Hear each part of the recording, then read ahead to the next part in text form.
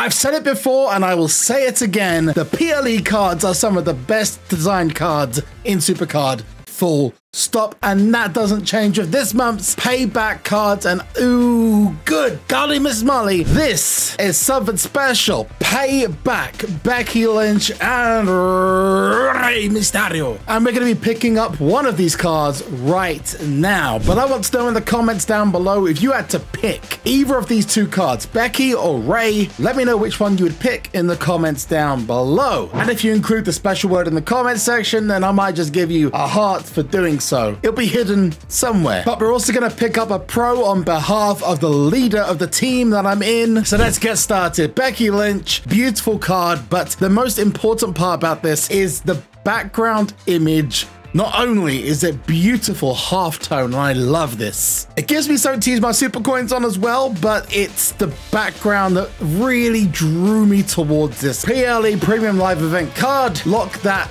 son of a gun in. The man Becky Lynch is in town. But the card has a secret, and this is the reason I got it. The background image changes. Don't get me wrong, this image of Becky is fantastic but I've got others that I would like to use as well. Starting off with this one. That goes perfectly. That's a Hall of Fame.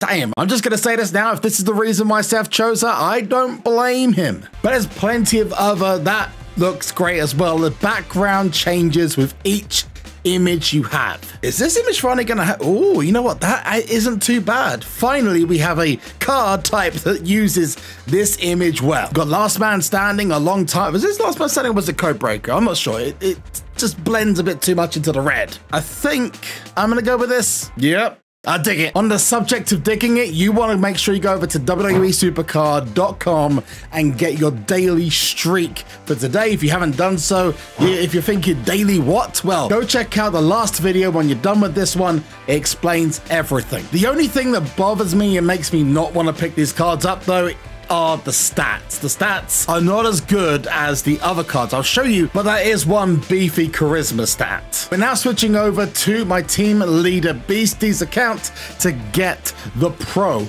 This is a pro Becky Lynch. He has asked me to get, so that's what we're gonna do. We're gonna lock it in. Now she's done, ready to go. Let's check out that animation. I'm gonna let Beastie decide what image he goes for. But I've been told it's tasty, and uh, you know what? You know, this reminds me, this reminds me of the Extreme cards mixed with the Royal Rumble. There's a Royal Rumble set of cards, I can't remember, but overall, this just looks goddamn good. Should you get it?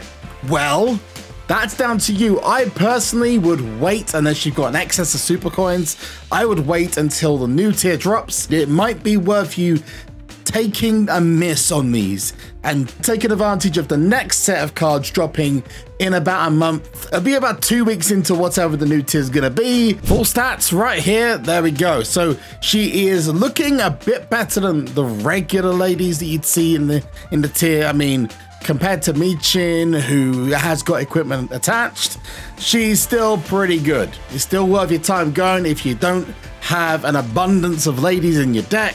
But if you're quite healthy there, then honestly, you could give this one a miss. That's just what I think though. You may have a different idea. Especially when there is a better one, a much better, more healthier one in Rhea Ripley. Mami is the last man standing card, and I need to know from you. It's been a long time since I last made a last man standing guide video, and I've done one for Clash of Champions, for Codebreaker, but we haven't done one for last man standing. Do you want to see that? An updated version that gives you better tips and tricks compared to the last one, which is like three seasons ago. If you want that, then let me know by smacking the like button. It takes two seconds of your time. Plus, it lets me know you want it. It'll be for free to play and pay to play players as well. Another reason you're probably tuning in is the fast lane mode. Now this is a, well, it's a typical cat daddy move. Now I mean that not in a nasty way. I mean that in, they released some really good things and I'm going to praise them here. Oh my God, don't kill me. But Packs like, for example, the five time having guaranteed cards, not for as much in terms of credits, but with decent odds as well. Don't get me wrong, the way they've done the collectible event, I'm not particularly thrilled with, and I hope it improves, but you see a bit of good with WWE Supercard, and then you get something like this, which is just Oh, it's frustrating. Now, I've already done this once, and it cost me 5,500 credit. That's how much this mode costs you. Once you've got the cards, you can't even go for them again. You can only earn them once or get a pro if you make it all the way through the mode. If you want my honest opinion, the worst bit you're about to see, because not only are we going to play the mode, and I don't recommend you do this, by the way. The, the content is out of date as it is. We're on to Booker T and Icon cards now, and the rewards are base cards and summer cards that we've been away from for like, what, three weeks now? Why you're doing a interactive pack mode that is 5,500 credits, which, by the way, if you're not buying through something like Android at the moment, through Google Play, or there's a discount, or you're doing it through the web store, costs you well, you're gonna have to spend out 46 pounds, 50 dollars to get this. It depends on your currency. It's a lot just for one go. Yes, you get a guaranteed single or potentially pro from this of this tier, but the cards just are not worth it. I could open up the five times packs and probably get a Booker T once or twice for the same it would cost to do one and a half of these fast lanes. But the absolute worst bit about this mode is not the 5,500. No, it happens when you go into it, and then to get a specific superstar, you have to spend 1,000 extra credits. Excuse me, what? So if I want to choose a very specific superstar, I have to pay you 1,000 extra credits so basically, I've used that whole 50, 45 pounds up. Gee, thanks. I mean, I wish I'd known about this. Like an extra 100 or 200 maybe, but a thousand credits? Listen, I'm not doing this for a base card, simple as. I'm going to do this for a card that I actually need, which will get me an F3, which is Axiom. And then the other two you have to pick are completely random off the board. You have to just pick a card. You've got LA Knight, yeah, of course. And Machine Gun, Karl Anderson. And you don't get all three, by the way. You only get one, which you choose at the end. You choose your route. So I'm going to go Toughness or Charisma on the left-hand side. And we're going to go with Karl Anderson. And basically, you just have to beat the cards.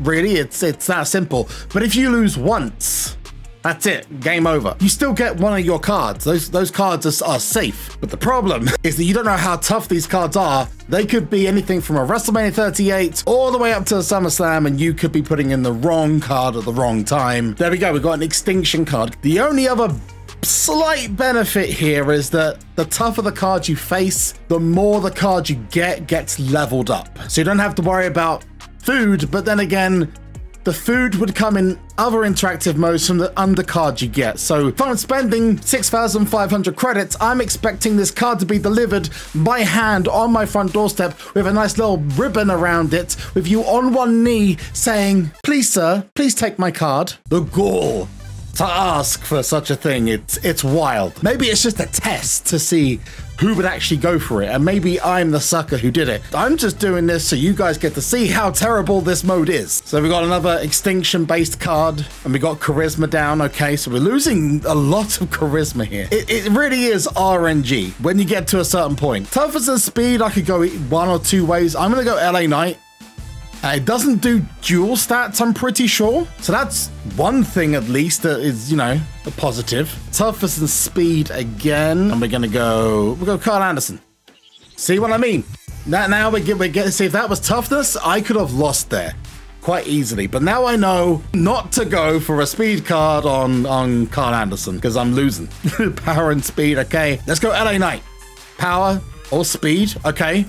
Again, we were so close, 2 million stats away, and it should not be this difficult to get a card like this. So let's go for the top one. We got power and speed. Okay, I'm gonna go. We're now getting, we're now getting Oost. Dude, his new theme though, Jey Uso's new theme is amazing. But this fast lane is not something I want to be touching anytime in the future. Okay, we're gonna be going straight to power and toughness. I hope this is easier. This one is easier. It's still taking out a little bit of damage, so I'm not totally happy. But, you know, I'm guessing when we get to this part, it's to be like SummerSlam cards because we haven't had those come up yet. I'm not to chance it. I'm to go with Axiom. There we go, exactly what I expected. Now this next one is a complete crapshoot because this is where you get to RNG and it's just not fun. So toughness, okay, we managed to get past this one, but my best card is now it's gone. Bye-bye. See you later. Need toughness. Ah, speed. See, I told you. We got to the end and we don't even get a second opportunity. It just gone. So you get to choose whatever card you want out of these. So if you got one particularly that's a pro or not, then and I'm going to choose Axiom because he's the fortify I need. But, well, that's a strict avoid. And it just brings me back to my point beforehand. This is such a cat daddy thing to do. So much good. And then they drop this and it's, yeah, it's a stinker. As always, I welcome your thoughts in the comments down below, and you know what, just leave a like for every credit I've wasted. That might make me feel slightly better about this pack. But anyway, I've been JB, you have been awesome, good luck in Last Man Standing. I'm counting on you to get yourself a good reward. And I hope to see you guys very soon. Peace out.